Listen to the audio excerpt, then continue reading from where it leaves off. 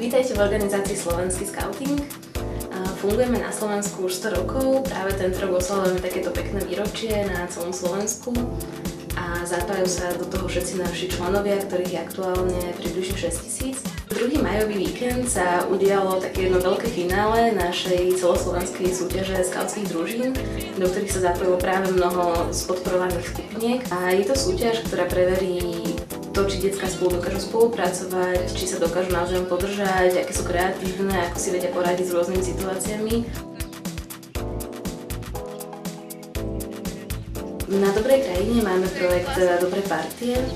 Je to rovesnický program, ktorý vychádza z prirodzenej potreby detí, má svoju partiu, kde sa cíti dobre a zároveň byť tam rešpektovaný ako jedinečná osobnosť. A mne sa veľmi páči, že je to o tom, aby detská mali možnosť naplňať svoje sny, dosahovať svoje ciele, aby sa mohli rozvíjať v bezpečnom prostredí, mať kopu fantastických dobrodružstiev, zážitkov a častokrát aj priateľov na celý život.